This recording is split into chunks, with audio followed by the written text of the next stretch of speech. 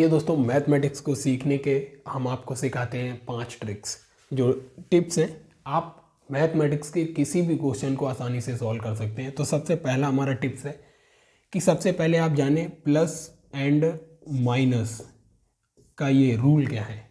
जैसे अगर कोई नंबर दिया हुआ है two plus four minus three plus eight minus five तो ये कैसे जो किया जाता है? तो आपको पता है कि आप जितने प्लस वाले नंबर हैं, पहले उनको देखिए। प्लस का दो है, प्लस का चार है, प्लस का आठ है। तो इनको जोड़ लीजिए। चार और दो छः और और आठ चौदह।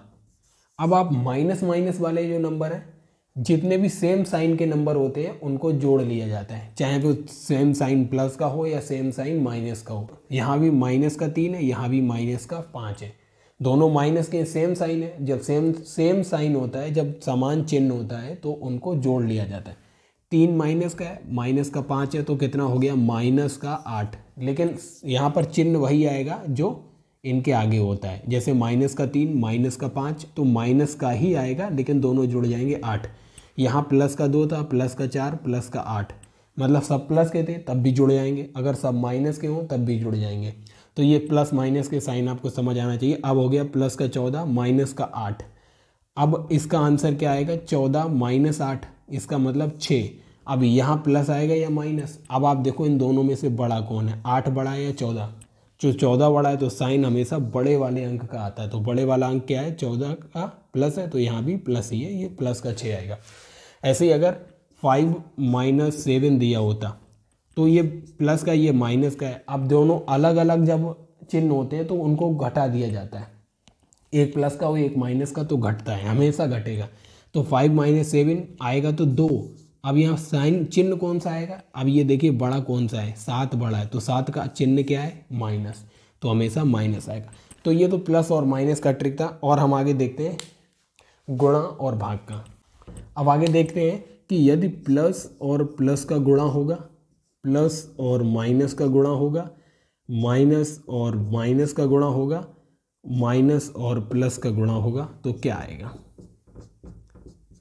तो प्लस और प्लस जब समान चिन्ह का गुणा होता है तो आंसर हमेशा प्लस आता है। जैसे प्लस और प्लस का गुणा होगा तो प्लस आएगा, और यहाँ माइनस और माइनस समान चिन्ह, समान चिन्हों का गुणा होगा तो हमेशा प्लस आएगा।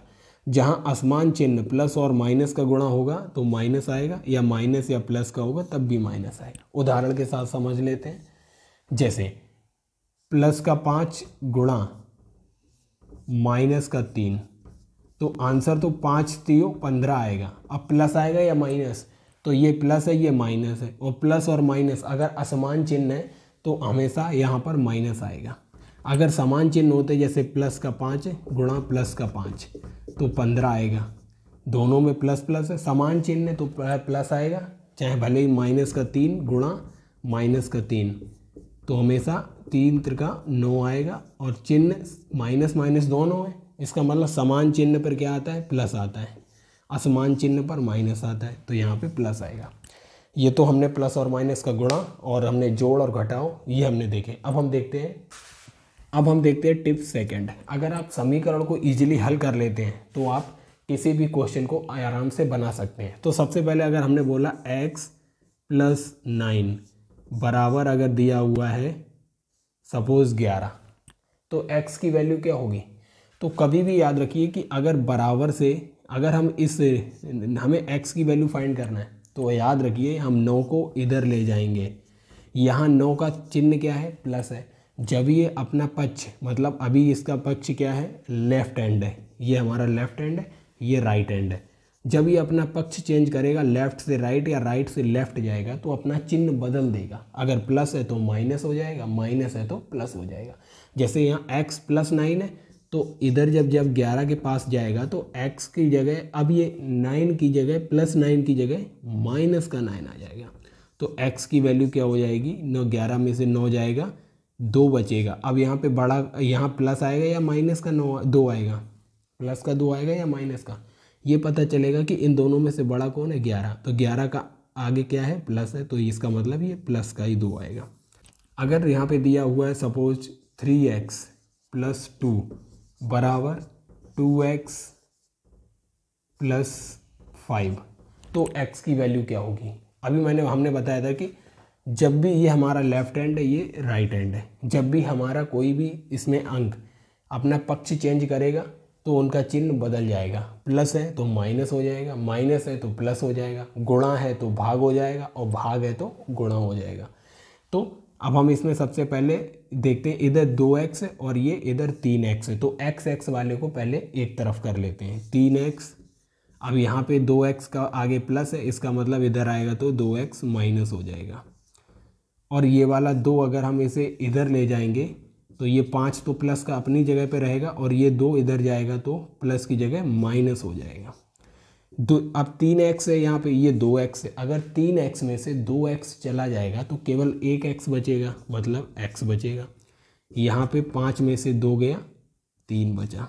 अब प्लस का तीन आएगा क्योंकि पाँच बड़ा है तो ये तीन आया प्लस का। अब हम देखते हैं नेक्स्ट टिप्स। अब हम देखते हैं कि भिन्नों को कैसे सॉल्व करते हैं। जैसे अगर यहाँ दिया है दो बटा तीन प्लस तीन बटा तीन बटा चार, अगर दिया हुआ है तो इसको हल कैसे करते हैं? तो सबसे पहले हम जो इनका, ये ऊपर वाला भाग होता है अंश और नीचे वाला होता है हर मीन्स न्यूमिनेटर एंड डिनोमिनेटर हम इसके हर का लेते हैं एलसीएम एलसीएम मीन्स लासा। एलसीएम ले लेते हैं, हर का। हर क्या है? तीन और इसका हर क्या है? चार। तो हम इसका एलसीएम लेते हैं ऐसे। सबसे पहले दो से डिवाइड करेंगे, तीन डिवाइड नहीं होगा, दो आएगा और ये डिवाइड होके वन आएगा, फिर इसे तीन से डिवाइड करेंगे वन आएगा। तो दो दूनी चार तीयों, दो दूनी चार तीयों, बारह आया इनका एलसीएम अब हम एलसीएम को लिख लेते हैं नीचे। एलसीएम अब हम इसको सॉल्व करेंगे सबसे पहले। इसको सॉल्व करने के लिए इसका हर देखेंगे, हर को उठाएँगे और इसको बारह को इसके हर से डिवाइड करेंगे तो तीन चौक बारह, चार बार गया। अब हम इस चार को इस दो से गुणा कर देंगे। दो गुणा चार। अब बीच में प्लस है तो प्लस लगा देंगे।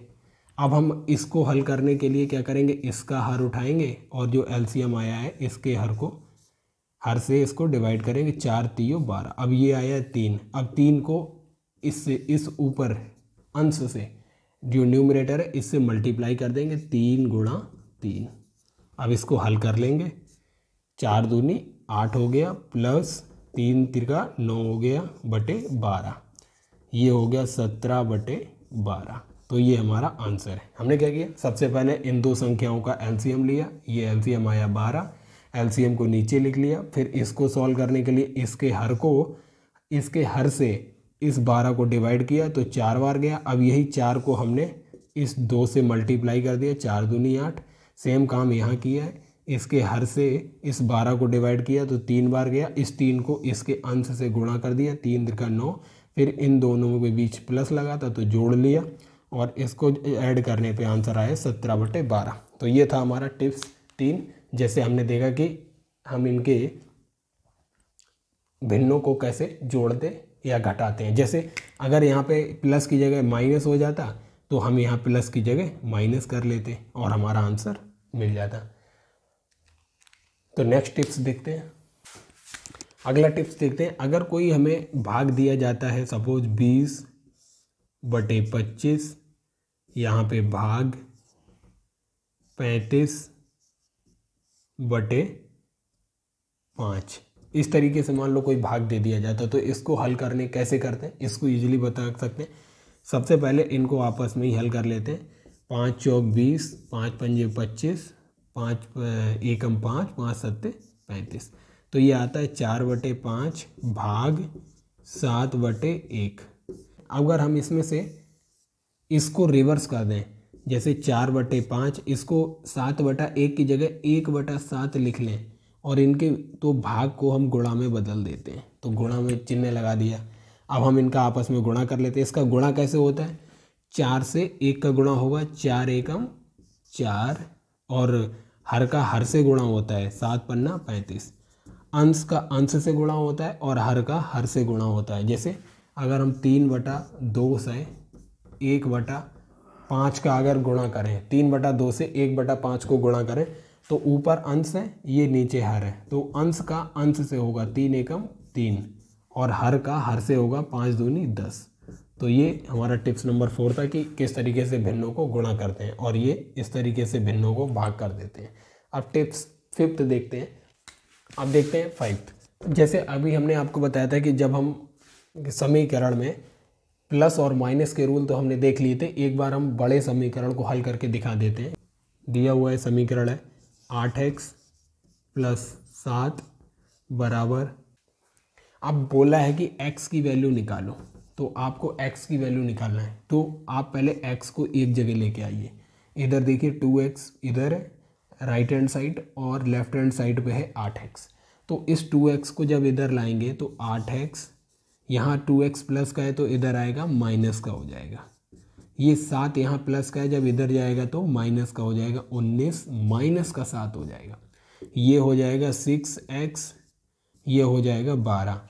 अब इधर देखिए, सिक्स और एक्स का आपस में गुणा हो रहा है। मतलब ये गुणा हो रहा है तो जब सिक्स इधर जाएगा तो गुणा को भाग में बदल दिया जाता है, जब पक्षांतर होता है। लेफ़्ट हैंड से राइट या राइट हैंड से लेफ़्ट। तो यहाँ गुणा हो रहा है तो एक्स इधर किसमें जाएगा? ये छः बारह बटे छः हो जाएगा, इधर भाग में चला जाएगा, इधर गुणा हो रहा है। अगर यहाँ भाग होता तो यहाँ गुणे में चले जाता। छः दूनी बारह एक्स की वैल्यू दो आ गई। कहने का मतलब है कि जब भी पक्षांतर होता है तो जो डिवाइड में होता है, भाग में होता है, वो गुणा में बदल जाता है और जो गुणा में होता है, वो भाग में बदल जाता है। प्लस का माइनस हो जाता है और माइनस का प्लस हो जाता है। पक्षांतर जब जब करते हैं। तो दोस्तों, ये हमने आपको मैथमेटिक्स सीखने के पाँच टिप्स बताए। ज़्यादा से ज़्यादा लाइक और कमेंट कीजिए और बताइए वीडियो आपको कैसा लगा।